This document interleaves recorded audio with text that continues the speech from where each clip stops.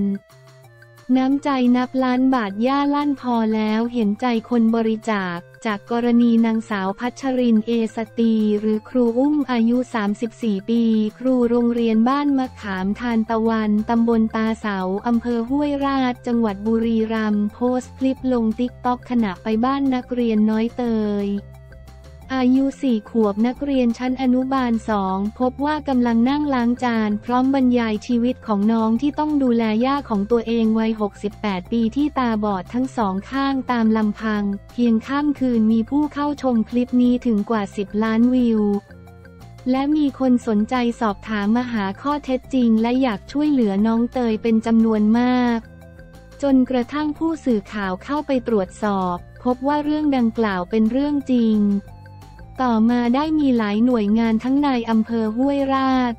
พัฒนาสังคมและความมั่นคงของมนุษย์ พมจ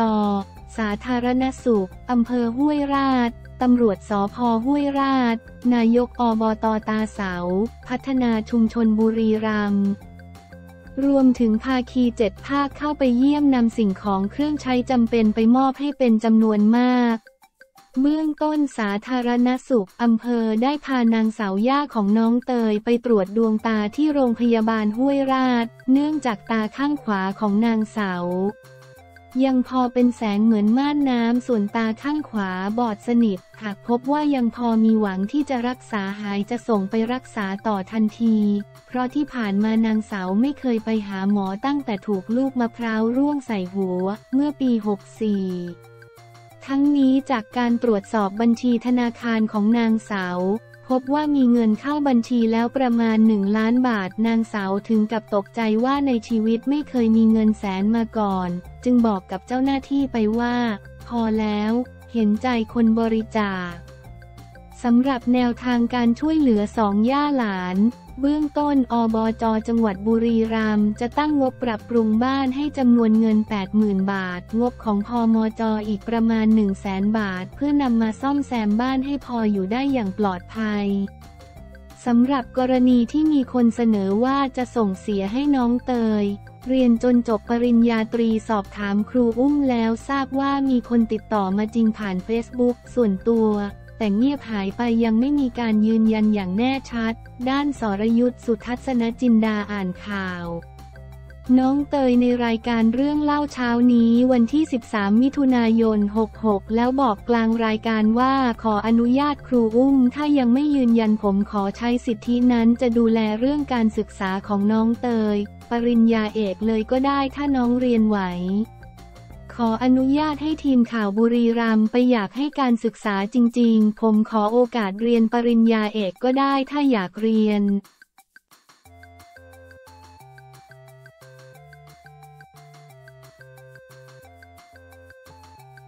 ลีโอไม่หมดหนี้ประกาศยุติแชมป์ที่ 200 สมัยพร้อมจำนวนเงินสุดว้าวลีโออาทิตย์สร้างประวัติศาสตร์อีกครั้งสำหรับการครองแชมป์200 สมัยกับขวัญใจไม่หมดหนี้นำเงินไถ่ที่นาให้แม่ พร้อมเงินสะสมสุดว้าวที่ไม่เคยเกิดขึ้นมาก่อน นับเป็นอีกหนึ่งเรื่องราวดีๆ บนเวทีไม้หมดหนี้เสี่ยงโชคที่ครองใจคนไทยมายาวนาน และสร้างประวัติศาสตร์อีกครั้งกับขวัญใจไม้หมดหนี้ลีโออาทิตย์โสดาเด็กหนุ่มวัย 17 ปีที่หวังจะนำเงินเพื่อไปหมดหนี้ถ่ายที่นาให้แม่จำนวน 200,000 บาท และแล้วความฝันกับเป้าหมายที่เขาตั้งไว้ก็เป็นผลสำเร็จ เมื่อวันพฤหัสบดีที่วันที่ 8 มิถุนายน 2566 ที่ผ่านมาสร้างความประหลาดใจแบบสุดๆ และทำเอาต่างพากันตกตะลึงเมื่อลีโอ ขอประกาศยุติการเป็นแชมป์ที่ 200 สมัย พร้อมเงินสะสมที่ทำเอาทุกคนต่างพากันอึ้งเมื่อจำนวนเงินสะสมของลีโอเป็นเลขจำนวน5,555,555 บาท พร้อมยอดบริจาคเงินทั้งหมด 951,102 บาท ซึ่งเจ้าตัวนั้นบอกว่า ดีใจมากๆครับผมก็ทึ่งกับตัวเลข ผมไปหาประสบการณ์เป็นร้อยเวที แต่ผมไม่เคยประสบความสำเร็จ แต่ผมมารายการนี้รายการไม่หมดหนี้เสี่ยงโชคมันทำให้ผมประสบความสำเร็จในชีวิต ไม่ว่าจะหมดหนี้ทำให้แม่ผมครอบครัว ผมสบายใจขึ้น และก็ประสบความสำเร็จในการร้องเพลงครับ ดีใจมากๆ แต่มันก็ต้องมีการเลิกราและจบไปครับ วันนี้ผมอยากขอยุติการเป็นแชมป์ไว้ที่ 200 สมัยครับ ผมได้ก้าวผ่านความตั้งใจของผมมาแล้ว มันเป็นแรงผลักดันของผมเป็นจุดมุ่งหมายปลายทางของผมที่ผมได้ตั้งเอาไว้ ตอนนี้ผมสำเร็จแล้วและที่ไม่อยากไปต่อคือผมไม่อยากจะเกินไอดอลของผมครับ นั่นก็คือพี่ไรเอาครับ เดินทางต่อสู้มาจนถึง 200 ผมก็ไม่ได้อยากจะเทียบเท่าพี่ไรเอา แต่ว่าผมอยากเป็นเหมือนพี่ไรเอา วันนี้ผมทำได้สำเร็จต้องขอขอบคุณทุกๆคนครับ ขอบคุณพ่อพ่อแม่แม่ FC ทุกคนที่คอยให้กำลังใจผมตั้งแต่สมัยที่หนึ่งจนถึงวันนี้และที่ผมอยากขอบคุณมากที่สุดก็คือคุณแม่ของผมครับ เท่านั้นยังไม่พอทางรายการมอบ big surprise กันต่อเนื่องเมื่อคุณแม่ของลีโอมาร่วมยินดีกับลูกชายที่คว้าแชมป์สมัยที่ 200 มาได้สำเร็จ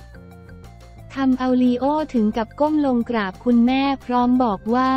ผมขอบคุณมากๆนะครับ ที่คอยดูแลผมมาตลอดวันนี้ผมทำสำเร็จแล้วเดินทางมาถึง 200 สมัย และผมได้ปิดบัญชีหนี้ที่ครอบครัวเรากังวลมาตลอดได้แล้วทำเอาบรรยากาศอิ่มเอมหัวใจและสุดประทับใจจนพิธีกรเสนาลิงรวมถึงเหล่าคณะกรรมการอย่างเอชัยยา สุนารี ไฮอาภาพรและสรินทรานิยากรถึงกับน้ำตาคลอด้วยความยินดีต่างโอบกอดกันด้วยรอยยิ้ม ติดตามความสนุกและลุ้นแชมป์คนใหม่กันได้ต่อในรายการ ไม่หมดหนี้เสี่ยงโชค ทุกวันจันทร์ศุกร์เวลา 18 นาฬิกา ทางช่อง WorkPoint 23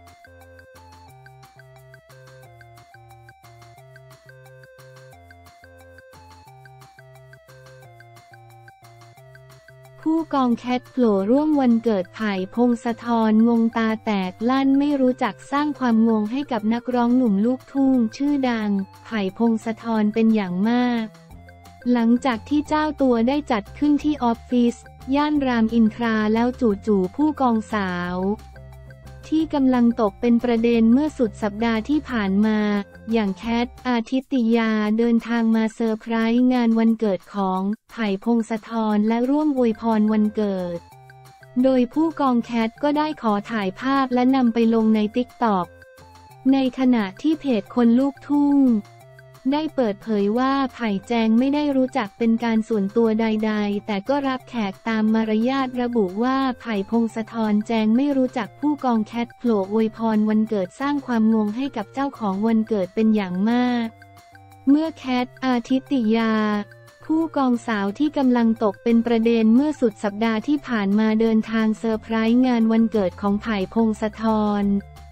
ซึ่งจัดขึ้นที่ออฟฟิศของไผ่ย่านรามอินทรา โดยมีการนำรถแห่มาร่วมร้องเพลงกับแฟนคลับกันอย่างสนุกสนาน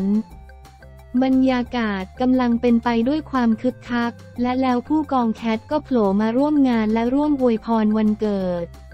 ในขณะที่ไผ่พงศธรแจงไม่ได้รู้จักเป็นการส่วนตัวใด ๆ แต่ก็รับแขกตามมารยาทโดยผู้กองแคทได้ขอถ่ายภาพและนำไปลงใน ติ๊กตอกแต่ก็ถือเป็นคนในวงการลูกทุ่งเหมือนกัน ขอบคุณข้อมูลจากเพจคนลูกทุ่ง